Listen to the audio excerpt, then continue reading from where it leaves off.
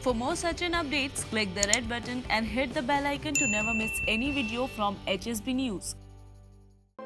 IPL के बारहवें season में चेन्नई सुपर किंग्स ने कोलकाता नाइट राइडर्स के खिलाफ सात विकेट से शानदार जीत दर्ज की और इसके बाद जो हुआ उसे स्टेडियम में सबने बड़े ध्यान से देखा दरअसल, चेन्नई सुपर किंग्स ने कोलकाता नाइट राइडर्स को हराया, जिसके बाद धोनी मैदान से ही शाहरुख को ग्रीट करते नज़र आए।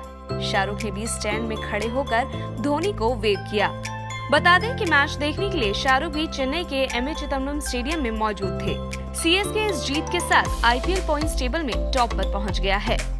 केकेआर की टीम पहले बल्लेबाजी करते हुए 20 ओवरों में महज 108 रन ही बना सकी, जिसे धोनी की सीएसके ने बड़ी आसानी से हासिल कर लिया। इस दौरान शाहरुख के चेहरे पर टेंशन साफ़ नज़र आई। वेल, आज आईपीएल का 24वां मुकाबला मुंबई इंडियंस और किंग्स इलेवन पंजाब के बीच रात आठ बजे से खेला जाएगा। इस मैच के तमाम लाइव अपडेट्स के लिए सब्सक्राइब करें एच न्यूज़ और बने रहें हमारे साथ।